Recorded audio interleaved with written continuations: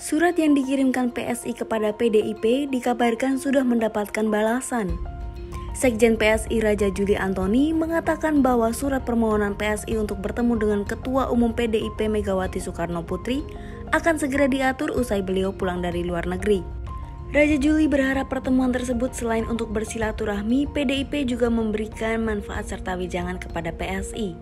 Diketahui, Partai Solidaritas Indonesia masih belum menentukan siapa bakal capres yang akan didukung. Wakil Ketua Umum Pembina PSI Grace Natali menegaskan pihaknya masih netral terkait dukungan Pilpres 2024.